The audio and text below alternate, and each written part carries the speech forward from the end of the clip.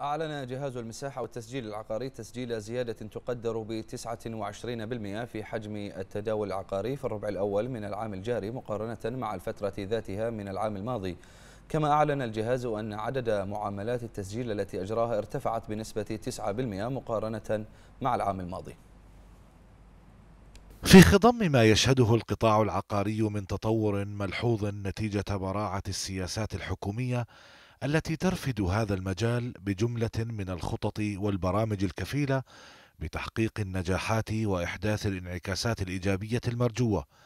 تأتي حصيلة الأرقام مبشرة لتطرح نفسها وتقدم ما في جعبتها من بيانات لم تكن لتصبح واقعا لولا وجود القوانين والأنظمة الجديدة المؤطرة لعمل القطاع.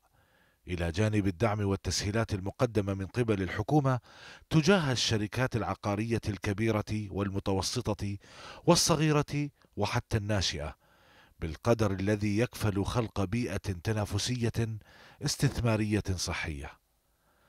بعض تلك الأرقام جاءت عبر ما أعلن عنه جهاز المساحة والتسجيل العقاري بحصول زيادة تقدر في المئة سكنت حجم التداول العقاري في الربع الأول من العام الحالي والتي تقدر ماليا بما ينوف على 293 مليونا و340 ألف دينار بحريني مقارنة بنفس الفترة من العام الماضي والذي بلغ حجم التداول فيه ما يزيد على 226 مليونا و675 ألف دينار بحريني.